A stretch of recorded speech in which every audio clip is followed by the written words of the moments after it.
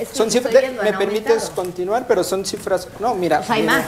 viene a la baja, hay una tendencia hacia abajo. Hay más.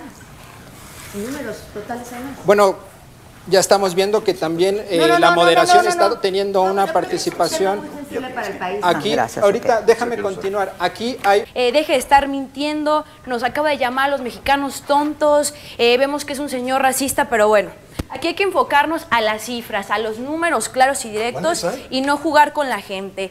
Fue un buen debate. Sí, ganamos, Una, ganamos. una entrevista Ganamos. de una entrevista aquí afuera, por favor. Una entrevista dura, dura. Sí, ganamos, Julián, ganamos, Julián. Por favor. Datos, no relatos.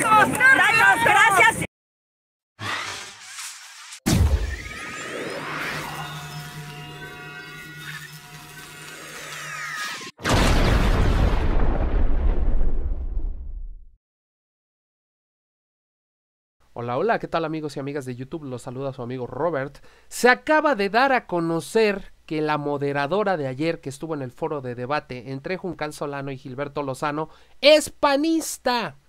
No es neutral, está a favor de los opositores moralmente derrotados. Ustedes van a decir cómo es eso posible. Pues ya revelaron tweets donde ella habla en contra del presidente López Obrador, en contra de la 4T, y el día de ayer se atrevió a interrumpir justo cuando estaba hablando Julián Atilano, este investigador de la UNAM que estaba presentando datos duros. Chequen cómo la pusieron en su lugar por estar interrumpiendo. Pero antes les voy a enseñar este video. Eh, ella es Pamela Cerdeira, la moderadora que escogió el INE en el foro sobre la revocación del mandato. Aquí les dejo un hilo sobre su postura completamente imparcial sobre el tema. Chéquense lo que opinó aquí antes del debate. forma de Mucha gente dice que no participar es una buena forma de demostrar su descontento y además de salir a decir de cierta manera que pues todo esto es una tomada de pelo porque quienes están buscando la revocación lo único que quieren es pues darle por su lado al presidente y tienen razón. ¿Ya vieron amigos? ¿Por qué el INE habrá escogido a esta mujer que es de oposición? Pues porque el INE es de la oposición. Les voy a mostrar en el debate cómo se atrevió a interrumpir. Vamos a ver el video. O sea, verdaderamente tenemos un tipo que a la hora que llegue alguien nuevo se va a dar cuenta que salió por la puerta de atrás. Y al salir por la puerta de atrás muere el rey, viva el rey.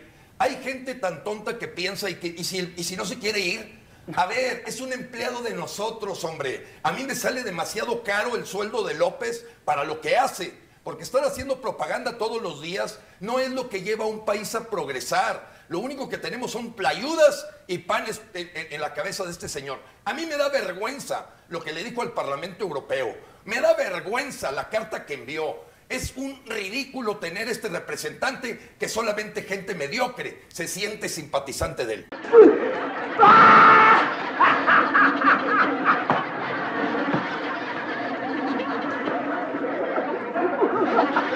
Tiempo, Gilberto, gracias. Juncal Solano, la misma pregunta. ¿Por qué estaríamos mejor los próximos tres años si el presidente continúa en el poder? Muchas gracias.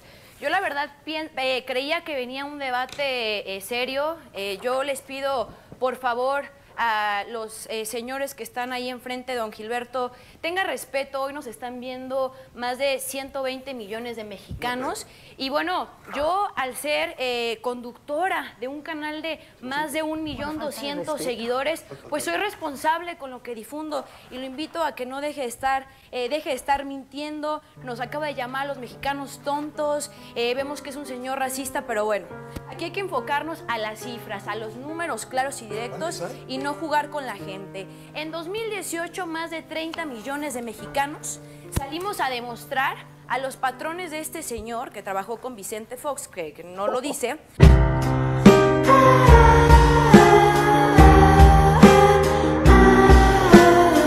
eh, eh, salió a demostrar que el pueblo quita y el pueblo pone. No más privilegios para los mismos de siempre.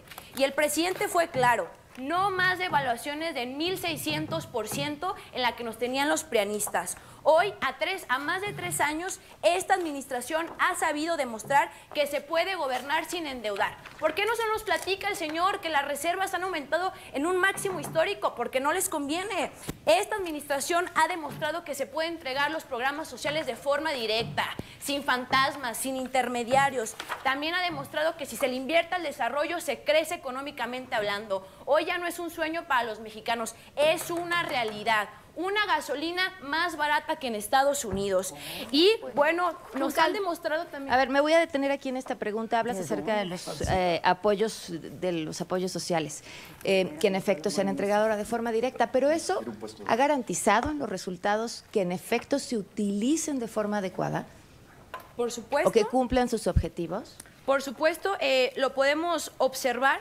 Hoy ya son más de 4 millones de jóvenes que reciben becas Benito Juárez, tenemos a más de 300 mil jóvenes que reciben un apoyo y al final, eh, un apoyo en jóvenes construyendo el futuro. Y al final el hecho de eh, atender las causas reconstruye el tejido social de gobiernos anteriores irresponsables que prefirieron eh, abrir las fronteras para sembrar armas en nuestro país y, generar una crisis de inseguridad. Hoy tenemos un gobierno que en lugar de eso construye universidades, 145 nuevas universidades antes de terminar el sexenio para beneficiar a más de 200 mil jóvenes.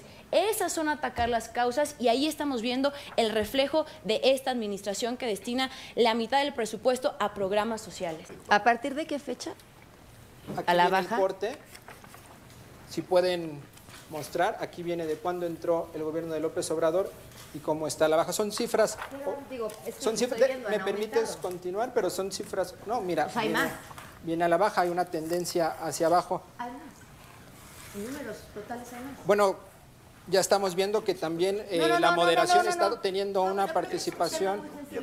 Aquí, ahorita, déjame con. ¡Juncal! ¡Juncal! ¡Juncal! ¡Juncal! ¡Juncal! ¡Juncal! ¡Juncal! ¡Ah, bueno! ¡Juncal! ¿Cómo se.?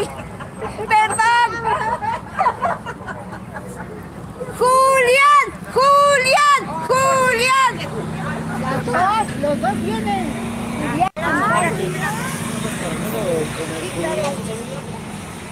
Ahí viene Juncal Solano y viene Julián también.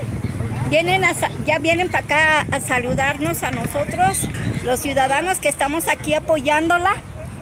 Tan guapa como siempre, hermosa. Compartan video, por favor. Fue un buen debate. Sí, Julián. Ganamos. Ganamos. Una entrevista. Ganamos. Una entrevista aquí afuera, por favor. Una entrevista dura, dura. Sí, ganamos, Julián. Ganamos, Julián. Por favor. Datos, no relatos. Datos, gracias. He estado aquí con, en este debate que fue todo un éxito. Lo vimos desde aquí afuera. A todos ustedes, yo los sigo en Revista Polemón. Ahí estoy también con Vicente también o en Twitter Juliana Tilano. Estamos con el pueblo, la 4 que le quieras decir a la ciudad, a la ciberaudiencia, a la ciberaudiencia, a la ciberaudiencia Ganamos. A la ciberaudiencia de Azul Sánchez. Pues que salgan el 10 de abril a votar, que siga el presidente. Pues sí, pero hay que, hay que salir. A ver, que se encontró Lorenzo, siquiera. No, que está, está escondido. Está escondido. Gracias, gracias. Está escondido, Lorenzo está escondido. Gracias. Una foto para todos el grupo que venimos aquí a apoyarnos. Sí. Sí, por favor.